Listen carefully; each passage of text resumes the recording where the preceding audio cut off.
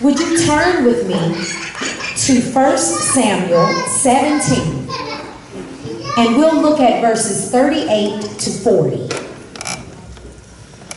1 Samuel chapter 17, verses 38 to 40.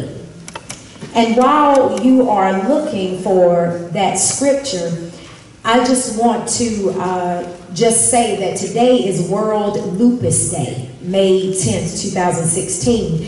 And we want to keep those who are facing lupus in our prayers. Uh, this day increases awareness of the more than 5 million people who are dealing with lupus. And so we wear purple on this day, so I wanted to honor those by wearing the little purple today. So let us keep those who are facing lupus in our prayers. 1 Samuel chapter 17, verses 38 to 40, these are the words that are recorded. Then Saul dressed David in his own tunic. He put a coat of armor on him and a bronze helmet on his head. David fastened on his sword over the tunic and tried walking around because he was not used to them. I cannot go in these, he said to Saul, because I am not used to them. So he took them off. Then he took his staff in his hand, chose five smooth stones from the stream, put them in the pouch of his shepherd's bag, and with his sling in his hand, approached the Philistine. I want to talk to us on this evening about God's dressing room. God's dressing room. For your youth revival, I see that your theme is young people meeting the challenges of this age. And it is indeed true that young people face a lot of challenges in this age. When thinking about dressing rooms, I'm pretty sure that whether you're male, female, young, or old, you've been in a dressing room before. Some retailers, some stores call them fitting rooms. But regardless, we've been in a dressing room before. If you've ever shopped for clothes, you've probably gone into a dressing room to be sure that something fit. Well, these days, when we think about dressing rooms, one of the things that we are very aware of is that in today's world, people are always talking about what we wear, dressing, getting dressed, but not only that, uh, body image and body type. As we consider one of the things that young people face, one of the challenges of this age, they face issues with body image. And it's, I mean, it's no surprise because when we look around, young people see magazines and on the cover of those magazines, the people there, they, their bodies look so perfect. We're so concerned with body image that we even write about body image. I was reading something the other day where it talked about uh, dressing for your body type. If you have a rectangle uh, shape, then you ought to wear this and you ought not wear this. If you have a circle type body, then you should wear this and not that. If you are a hourglass shaped ladies, there are certain things you should wear and maybe some things you should not. So it's no wonder that our young people are facing body image when every time they look around, the world is talking about body image. Body image, young people, is how you view your physical self.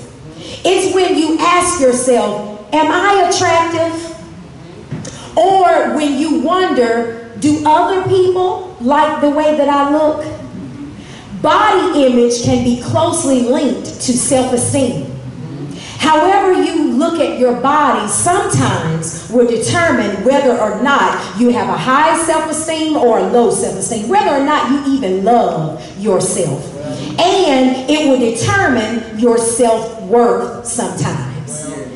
So body image is one of those things. So dressing rooms matter more than we think. What happens in that dressing room mm. really matters, whether we're really young or old. But when thinking about young people, I read a survey from the Centers of Disease Control.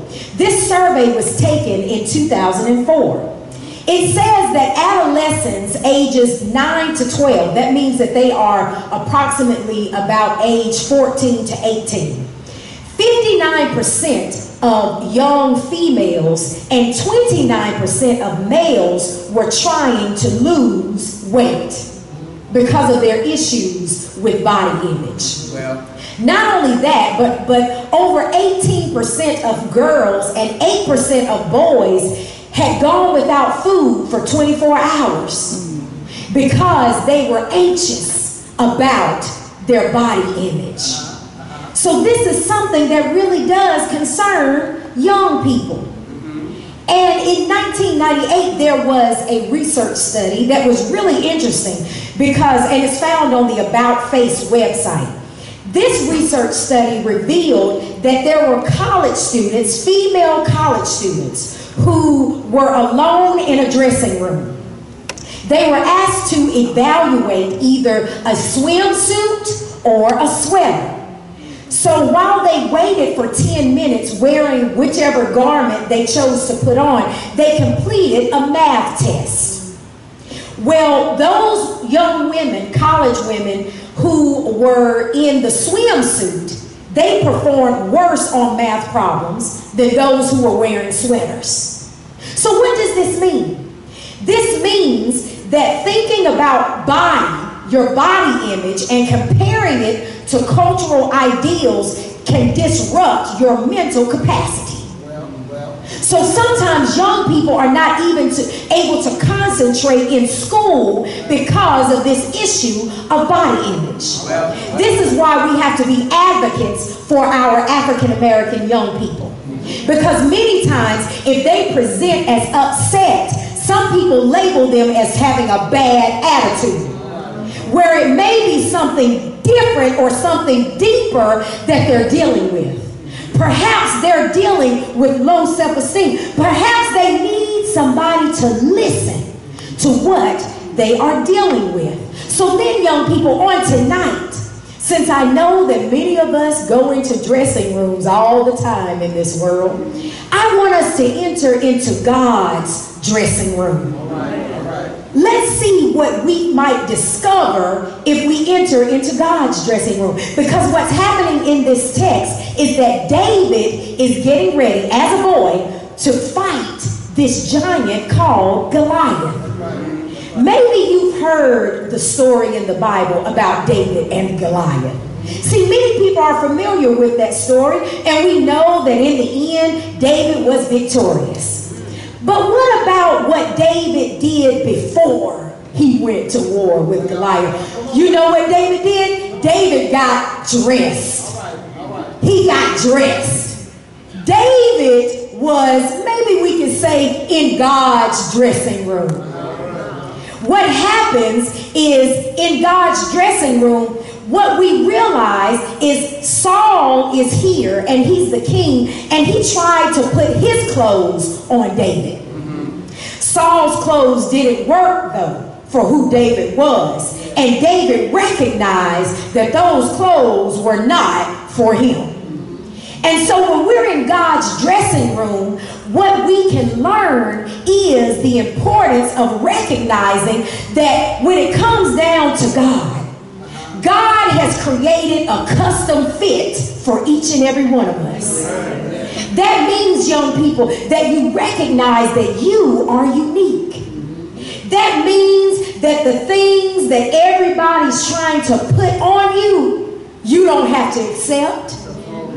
You have so many people, so many places trying to put things on you all the time. School is trying to put something on you. Home is trying to put something on you. Society is trying to put something on you. Your friends are trying to put something on you. And when you have to deal with all those different things, sometimes it can be challenging to figure out what, what am I supposed to put on and keep on and, and, and what am I not? But when we're in God's dressing room, we have to realize that, you know what, I'm unique. And God gave me a mind of my own. So I can think for myself. So David is there and Saul is trying to clothe him in his clothes. But David recognizes that, you know what, But Saul is trying to put that on him. So when we're in God's dressing room, the first thing that we need to do is recognize that God's fit for us is tailor made. God has created plans for your life just for you. There are things that you are going to do that your neighbor, the person beside you, is not going to do because God did not call them to do it. God wants you to do it. So each and every one of you, maybe you can't play the drums, maybe it's not meant for you to be on the choir, maybe you're not an usher, but there's something that God has made just for you. And so you have to recognize that in God's fitting room, you can figure that out because you are unique. And then David, he's walking around and he realizes, you know, he tries it. You know, he tries what Saul puts on him. he tries it. But then the text says that David took Saul's garment off. And the fact is, in order to be successful, young people, there's going to be some things that you're going to have to take off. All right, all right. There's going to be some things that you're going to have to take off. Now, there's going to be things that you shouldn't put on in the first place. But the fact is, in this life, sometimes we put on some things before we realize that we should not have put it on in the first place. So David put these things on, and then he took it off because he realized that it was the wrong fit. And, I wish that I could tell you, young people, I wish that I could say, uh, do everything right, stay on the straight path. But you know what? We're all human. And there are going to be some mistakes that you're going to make. But I want to encourage you to know that even when you make mistakes and you put on some negative things, God can help you take them off. Let me tell you, when, when I was young, when I was a girl, uh, I went to the grocery store with my mom. And in this grocery store, there were these bins and they had candy in them. Oh my goodness, there were malt balls in that, in that uh, container.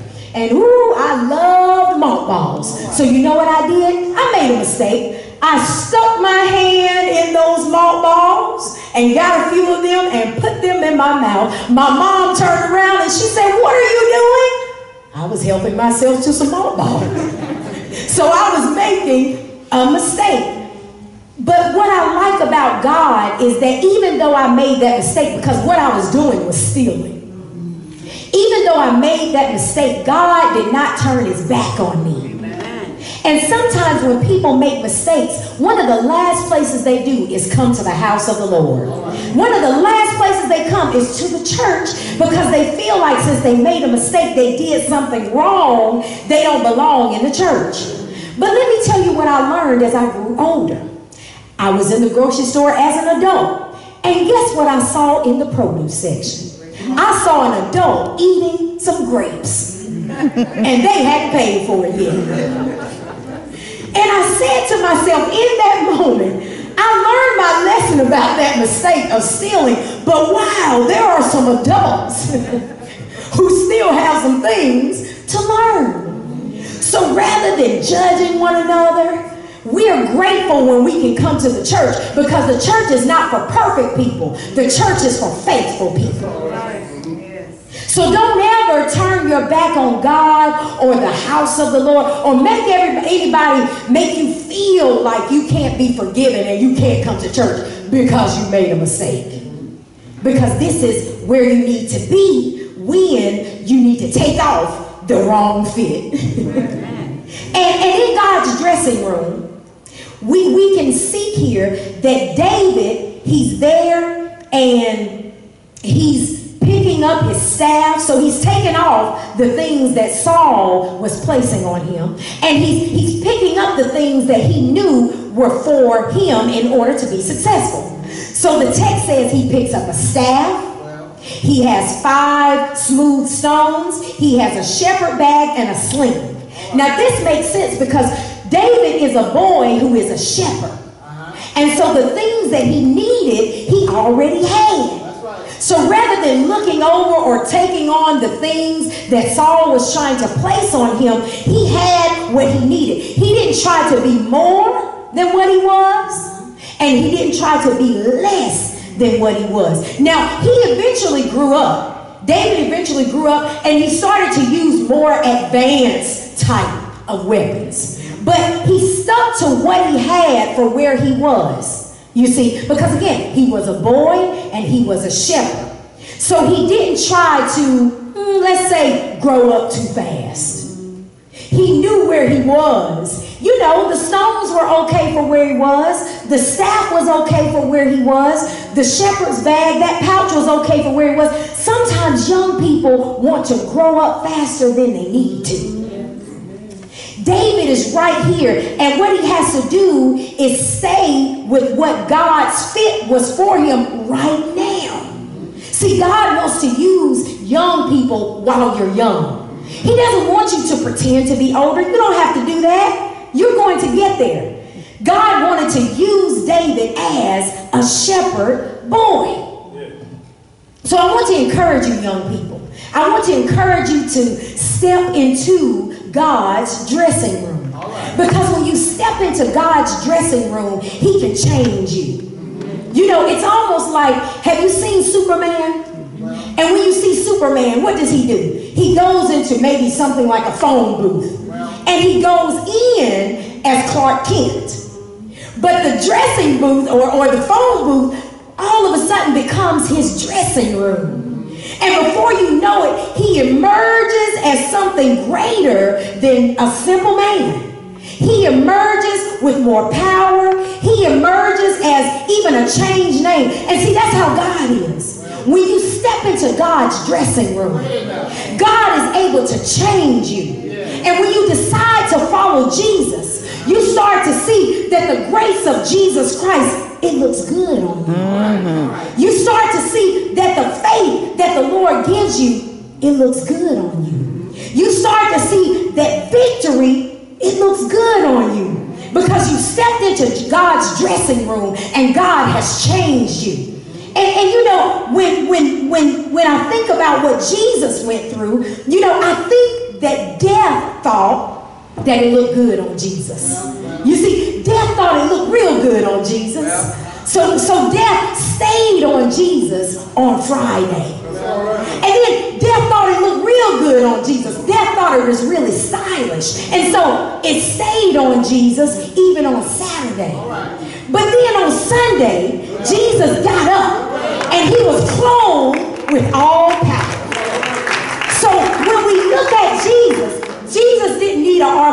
Suit. Jesus didn't need to call Versace. Jesus didn't need anything from the Steve Harvey collection because he was clothed in all power. And one day, if we follow Jesus Christ, we're going to see his face. You know, the songwriter said something like this. The songwriter says, when it's all over, I will wear a crown. Now, I don't know what size that crown might be.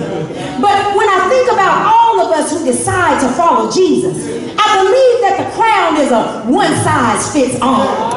So when we think about being with Jesus, the songwriter says, when it's all over, I will wear a crown. And then the songwriter goes on to say that they're going to put something on. You see, because we realize that we stepped into God's dressing room. And when we step into God's dressing room, we look at our hands and they look different. We look at our feet and they look different. We look in God's mirror and we see a different kind of image. And so the songwriter says that they're going to put something on. The songwriter says, I'm going to put on my robe and tell the story how I made it over. They say, I'm going to put on my robe and tell the story